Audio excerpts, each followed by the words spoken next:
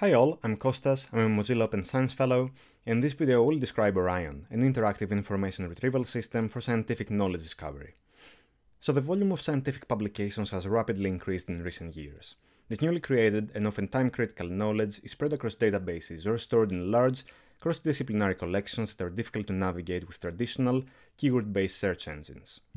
With that in mind, we developed Orion, which has two main components.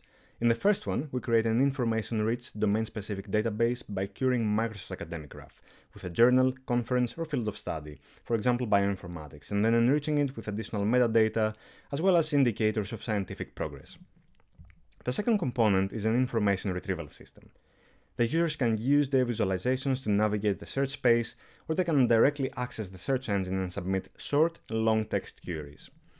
Regarding the visualizations, we're showing the metrics of scientific progress we developed, as well as a 3D representation of the academic publications, which we encoded with a sentence-level Distilbert model and projected to 3D with UMAP, a dimensionality reduction technique.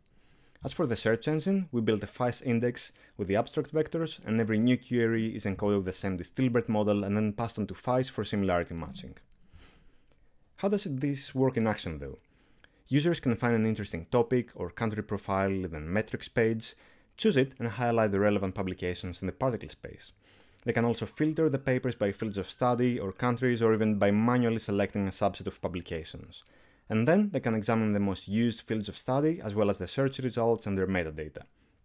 Overall, user, users can switch between different views to refine their queries and navigate the search space. So that's Orion. If you'd like to learn more, get in touch. Thank you.